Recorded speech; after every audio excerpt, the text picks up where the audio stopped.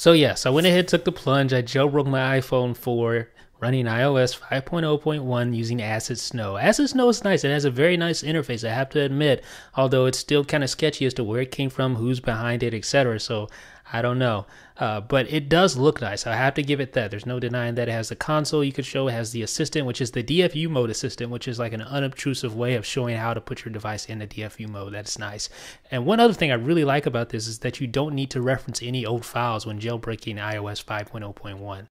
So as you can see, my device is in DFU mode. I click jailbreak and it goes through fetching the kernel cache and it gives you the full synopsis when you show console there. You don't actually have to show this console. You could just keep the little window there, but I like to see what's going on, what's happening to my iPhone.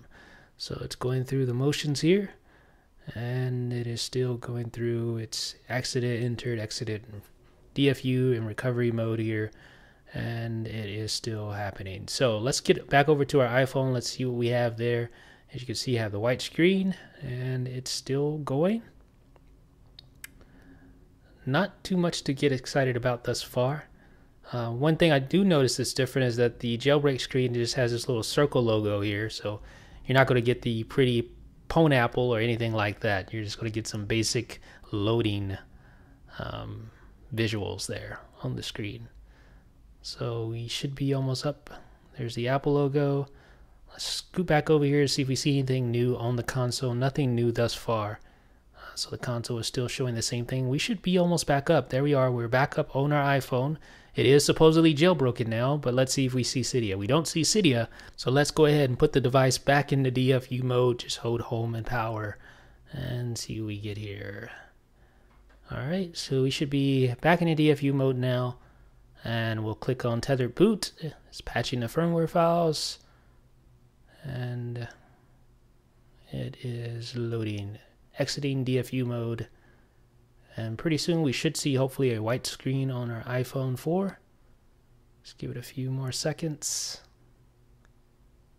And there we go. So there's a white screen. It should be booting back up here momentarily. Okay so there we go. There is our iPhone screen. Let's hop over and see if we have Cydia now. It is a white icon, but let's tap on it and it does look like it may load up Cydia. So it is. It is preparing the file system. You'll probably just need to do another tether boot to get the Cydia logo to be normal. But it does work. As you can see, the uh, jailbreak does work. It does install Cydia, um, and that is very encouraging for any potential Acid Snow users here. So like I said, it does load up. There we go and uh, we're good to go. So what I really like about Acid Snow is that number one, you don't have to reference any previous firmware. It just works. Unlike Red Snow, which can't jailbreak iOS 5.0.1 without referencing, you know, previous firmware and things like that. This allows you to do so outright. I know in the beginning there was a little controversy over Acid Snow as far as which files it used to perform the jailbreak. I think that's been cleared up now, but still, you may want to use caution when using this. If you're not experienced, just stick with the normal Red Snow jailbreak. But if you want to take the plunge, try Acid Snow and let me know what you think in the comment section. This is Jeff with iDownloadBlog.